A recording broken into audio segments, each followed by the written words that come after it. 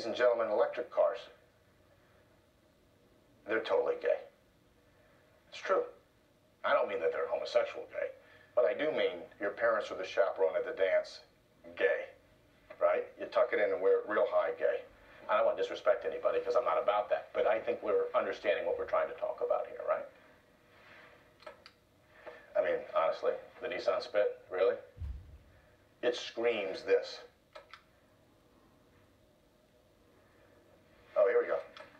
The Hyundai Pomegranate, right?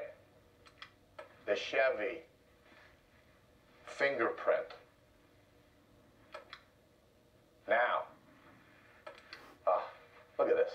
The 1966 Ford GT350. You want to roll up in that one, Hoss? The 1965 Pontiac GTO. Completely awesome.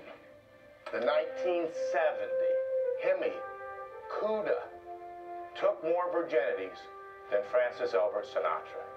What are we suggesting here? We're talking about taking the benefits of electric transportation, but combine them with the rock and rollness and the sexiness that the Dodge current muscle car models have. Nicholas, we- we believe